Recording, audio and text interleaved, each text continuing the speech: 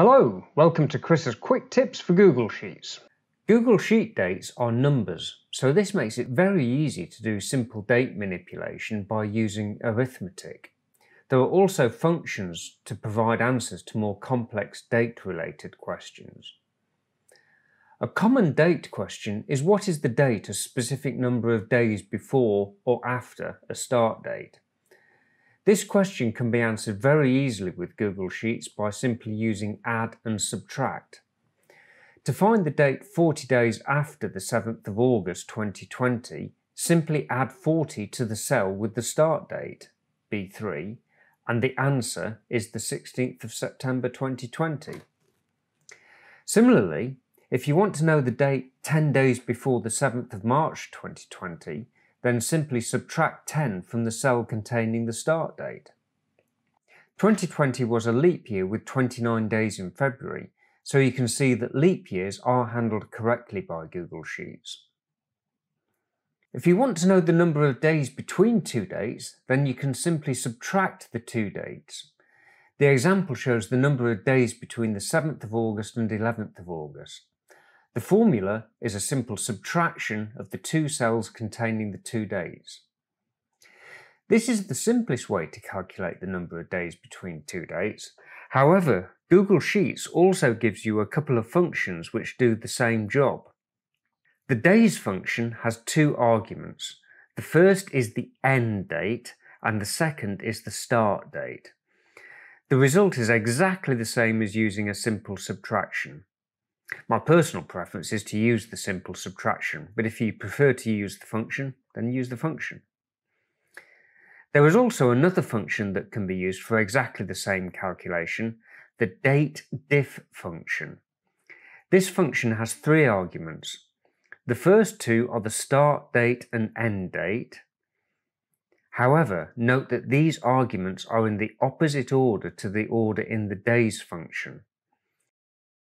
The final argument is the units, which is a one or two character code which specifies the units used, but a lot more on that later. But for this calculation, enter the letter D for the final argument. This gives exactly the same result as the days function and the simple subtraction. In that example, the end date was after the start date, which is the most common situation that you will come across. But there may be some scenarios where the end date could be before the start date, as shown in this example where I have simply swapped the start and end dates around from the first example. If you are using the simple subtraction, then this is not a problem because the result will be minus 4 days. The days function also handles this scenario and gives minus 4 days. However, the date diff function cannot handle this scenario and reports an error. So if it is possible that you need your sheet to handle the scenario where the end date is before the start date, then you should not use the date diff function. Use a simple subtraction or the days function. While the date diff function cannot handle this scenario, it is actually an extremely powerful function that allows you to calculate the difference between the two dates in six different ways. The date diff function has three arguments. The first two are the start and end dates, and the final argument specifies how you want to count the difference between the two dates. You specify which method by using a one or two character code in the third argument. The simplest way of counting is D. This is simply the number of days between two dates provided the end date is the same or after the start date. If the third argument is yd, then the function returns the number of days between the two dates, but ignores the year. So for example, the difference between 27th of February 2020 and the 27th of February 2021 is zero, because ignoring the year, they are both the same date, 27th of February. These examples show how the number of days difference is calculated for three days when the third argument is yd.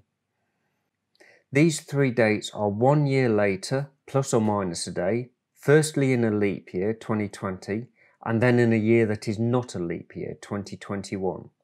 In a leap year, there are 366 days, so the number of days between two dates can be 0 up to 365 days.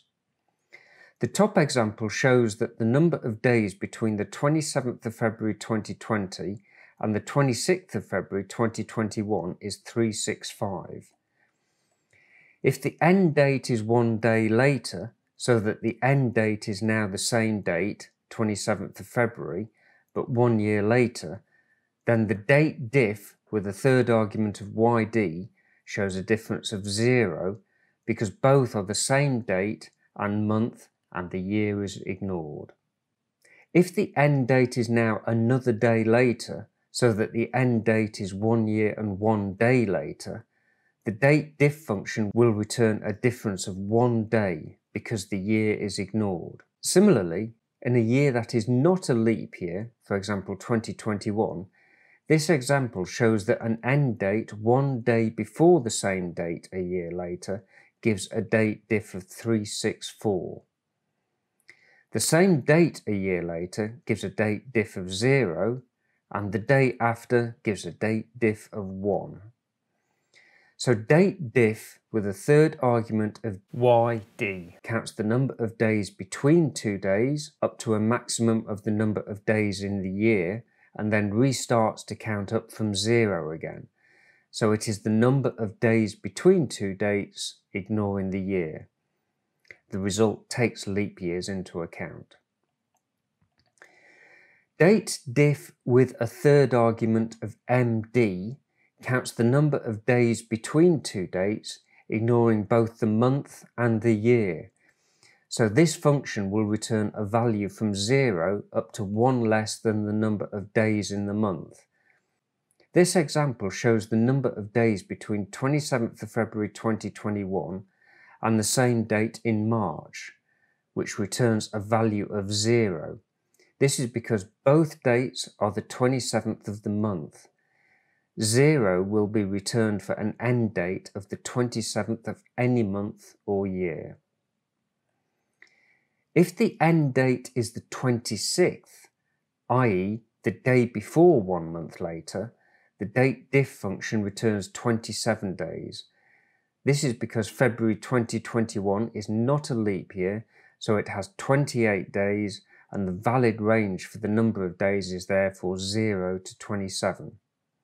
For the same dates in 2020, which is a leap year, so February has 29 days, the valid range for the number of days is 0 to 28. So the number of days between the 27th of February 2020 and the same date in March is 0. There are 28 days between 27th of February 2020 and the 26th of March 2020, which is one day before one month later. June has 30 days, so the number of days between the 27th of June and the day before one month later, the 26th of July, is 29 days. Date diff can also count the number of months between the start date and the end date and return either the number of months or the number of months ignoring the year. The table shows the count of the number of months increases by 1 on the same date as the start date in each month. The count starts at zero and increases to one when the end date is the same date in the following month. The date diff with the third argument of m will continue to count the number of months upwards. However, the date diff function with the third argument equal to ym will count the number of months and ignore the year in the start and end date. So in this scenario, the function will count up to 11, then start again from zero. The table shows that when the start date is the 27th of February and the end date is 27th of February a year later, the date diff function with a third argument of m will return 12. But if the third argument is ym, the function will return 0. Similarly, if the end date is one year and one month after the start date, the date diff function with a third argument of m will return 13 months, but with a third argument of ym will return 1 month. The date diff function can count the number of years between the start and end dates. On the same date and month of each year, the count of the number of years will increment by 1. The table shows that if the start date is the 27th of February, the count of the number of years increases by 1 on the 27th of February for each of the following years. At the start of this video, I showed how to calculate the date a specified number of days in the future or the past using simple addition and subtraction. If you want to find the date a specified number of months rather than days in the future or past, then Google Sheets provides the function eDate to do this. The function eDate has two arguments, the start date and the number of months which can be either positive for months after the start date or negative for months before the start date.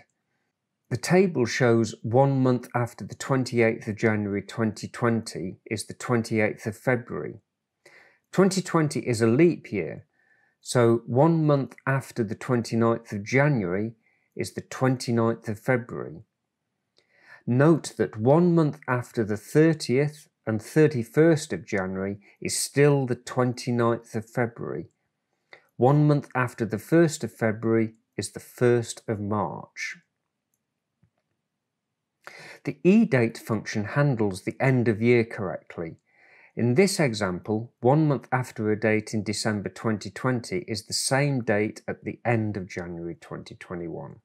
Both December and January have 31 days, so the date is the same in the start date and the result of the eDate function. The eDate function can also find the date and number of months before the start date by specifying a negative number in the number of months. In the example, I have looked at one month before dates at the end of March. One month before the 28th of March is the 28th of February, and one month before the 29th of March is the 29th of February 2020. One month before the 30th of March is still the 29th of February, and similarly, one month before the 31st of March is also the 29th of February, which shows that the function correctly handles leap years. Click to watch the playlist containing all the other videos about time and date functions in Google Sheet. There is also a playlist with a lot of videos covering other Google Sheet functions and functionality.